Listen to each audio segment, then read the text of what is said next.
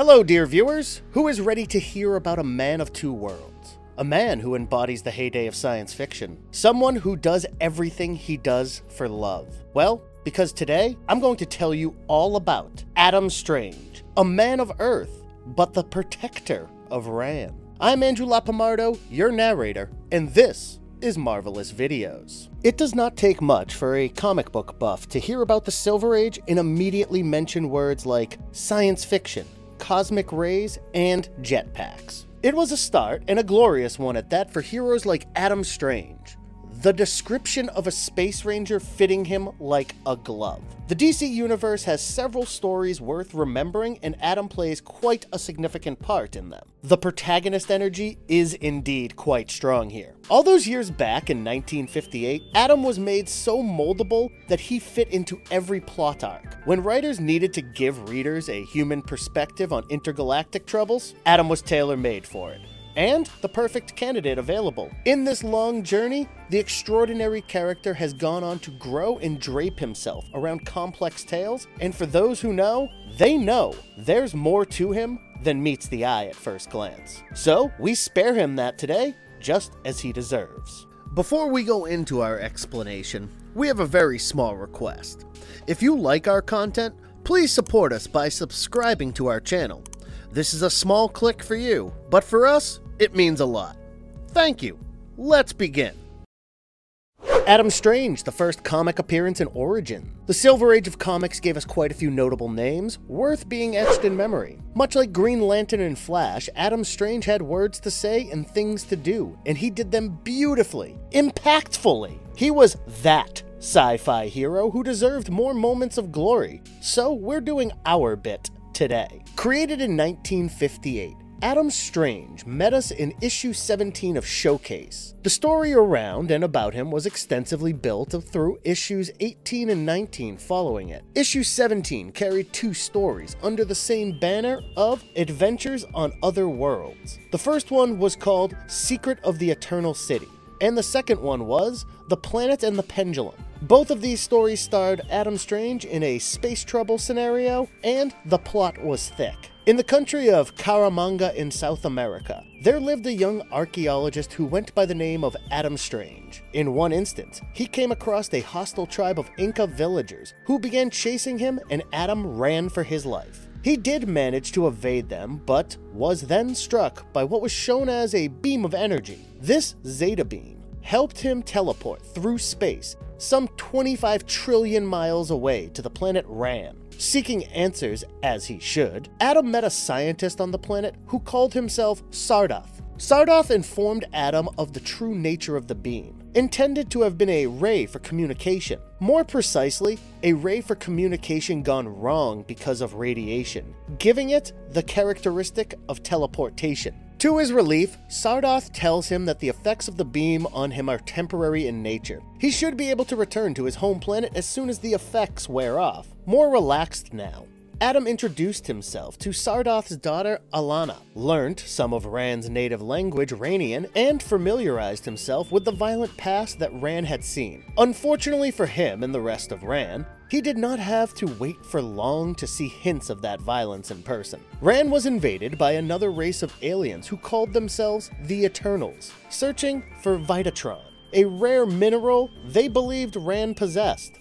Alana and Adam decided to engage in their quest to ensure that peace prevailed on Rann again. As they traveled to Komorik, city-state nearby to get more information on the whole incident, they not only came across the Eternals, but it also dawned upon Alana that Vitatron was possibly found in another city called Samarkand. The problem, Samarkand was a truly mythical city emerging only once in every 25 Rannian years. They managed to reach Samarkand and consulted scientists there, wanting to get to know more about Vitatron and why it was being sought after. The clever duo led the Eternals straight into a trap set for them though, where these scientists of Samarkand, far more advanced with their technology against invaders and the like, apprehend the rowdy alien beings and bound them to a prison with fourth dimensional characteristics. As was fated, the effects of the Zeta beam wore off and Adam returned to Earth. But the fondness of Rann encapsulated his heart and never left.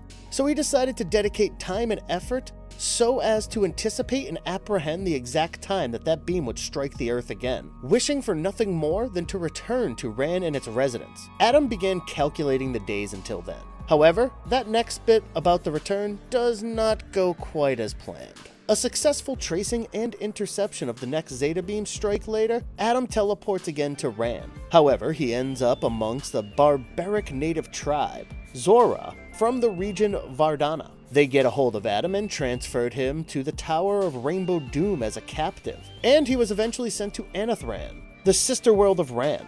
Adam's survival instincts kicked in, and he began exploring the area he was left in. Coming across a disabled space vessel with recognition marks of Rann, he ventured inside. There he met Sardath and Alana again, inquiring about the vessel being there as it was. They told him that the Samarkand scientist had let them acquire the advanced technology which they used to make the space travel vessel, but they were shot down by an alien race from another land. Maureen, their initial mission was to find evidence of a lost ancient Rannian colony. With Adam by their side, they discovered that this lost colony was actually located in the midst of another city, New Rangar, that was protected by a dome. The trio managed to reach and establish contact with one of New Rangar's denizens, but to their dismay, the Maureen invaders launched an attack once again. This time, the invaders attempted to damage the protective dome around the city with a large pendulum with sharp spikes. As the dome was being struck at with an intention to slice and damage it, Adam mustered up all his courage. He borrowed a jetpack and a ray gun from Sardath's space vessel and determined to not let his beloved planet and people see such destruction. As people watched, Adam projected himself to intercept the Maureen's and destroy the pendulum before it could cause more damage than it already had. This move drove the invaders away a second time, far away from Anathurin, leaving that world slightly shaken up, but peaceful again. This tale, too, ends with the Zeta Beam effects wearing off, and Adam Strange found himself in Earth's cradle again. Amidst his own people, he craved to be on Rann with Alana once more, who he seemed to have grown fond of.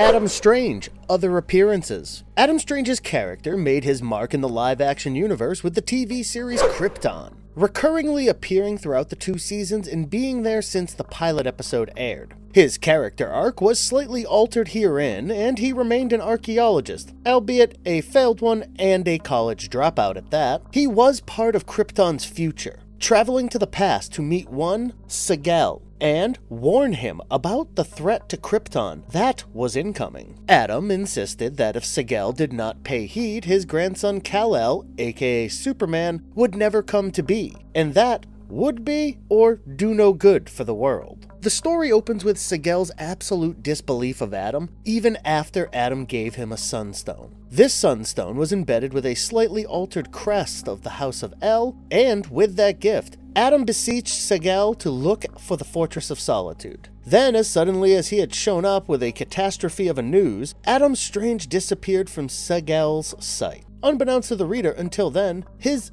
disappeared form had actually met Sardath and Alana and managed to convince them before he returned to his error of Krypton. Seg-El, on the other hand, managed to find the fortress. Adam met him there again, pleased that Seg-El had believed him and found the place he had requested him to. As miffed as he was at the death of his parents, Adam Strange presented Seg-El with Superman's cape. He pointedly told Seg-El that the cape was slowly being removed from existence. He may end up being the last one of his family. Only he could stop that from happening, though. And, for that, he needed to believe the truth of an alien invasion from the future. Seg thereby learnt of Brainiac, nicknamed the Collector of Worlds. The plot thickens until it thins out to reveal a beautiful story, giving us a goosebump inducing ride through the episodes and seasons. One of the 1950s most beloved superheroes, he makes himself known in the live action form too, all for those who find that medium more enticing. In another instance, there is a DC showcase, an animated short that any fan of the character should not miss. This is a tale of a colony that mines asteroids, and a drunkard that is looked down upon by the hardworking people. One of their workdays does not quite come to be so usual,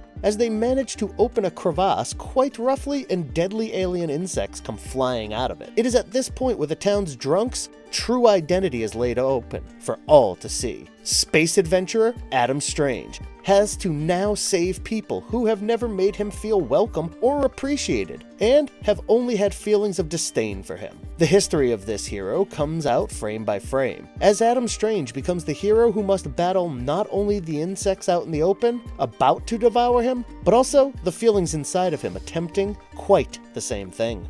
Adam Strange. What makes him extra special? The Zeta beam had had some damaging effects on Adam Strange's normal vision, and he lost his eyes. Sardath then used Alana as a template donor and made new eyes for Adam, giving him enhanced vision. This ability enabled him to see more details than human eyes were generally capable of, to the extent that the augmentation meant he had natural electromagnetic spectrum vision to the full extent and an eidetic memory. Adam was extensively trained in hand-to-hand combat and aerial combat, exhibited in his battle with humanoid species Hawkmen of Thangaria, who he took down with his bare hands, and his capacity to operate the jetpack as well as he does when needed. He made use of his skills to learn the use of Rannian firearms, and came to be known as an expert sharpshooter. Adam has a sharp mind too, enhanced by his vast knowledge of archaeology and experiences with aliens of different kinds. As a tactician, he can strategize well. He is also a brave explorer, mathematician par excellence, and above all, knows how and where to use his knowledge. His weakness lies in the little detail of the planet he loves to be on. He was known to not be able to survive on Rann for more than a year at a stretch. Adam Strange was also known to possess a Zeta Beam module, essentially a compression of Rann's Zeta Beam device. This drone could be filled in with the exact coordinates of Adam's desired destination, and it would assist him to reach there. He also had one of the most impressive physical appearances, a head protected by helmet-like gear and an insulated costume that was non-flammable. The helmet in question had a shield to counter the harsh unearthly atmospheric conditions, alongside being equipped with heads-up display. Adam was capable to the point where, during his stint on Justice League of America, he once managed to imprison the entire Justice League on Rann. When they reached their accidental credits to the Zeta Beam again, issue 20 of JLA saw Adam insist upon the heroes to assist him in rebuilding the damaged capital city of Rann. Adam Strange, closing in. Editor Julius Schwartz went on record to say that he wanted that line of divide between Adam and the space opera of sorts that Flash Gordon was. Hence, Adam was based more on the fundamental facts in sci-fi and won his battles against his enemies by making good use of scientific principles to suit his needs. If it was even at all slightly fiddled with at times, no one had to know because of the seamless way in which it was blended into the story being told. Earlier on with Adam Strange, stories like Dimendium were pure fiction, of course. But it is noteworthy that Strange's early appearances frequently contained backup pieces that explored the actual science behind various astronomy based themes discussed in the adventures preceding it. If pulp hero forefathers from books are anything to go by, they have never let us have a dearth of superheroes to talk about. Adam Strange, too, owes his essence to one Arnold Lute, a creation of Edwin Lester. The stories of American men in the military traveling to other worlds, developing feelings for alien princesses. Very much the storyline of Edgar Rice Burroughs' A Princess of Mars, and